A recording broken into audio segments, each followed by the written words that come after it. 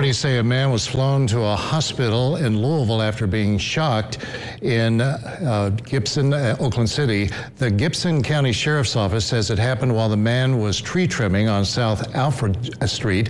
We're told he was in a bucket uh, when he was shocked. We want to emphasize that he was not electrocuted. Officials say he was breathing when they got to the scene.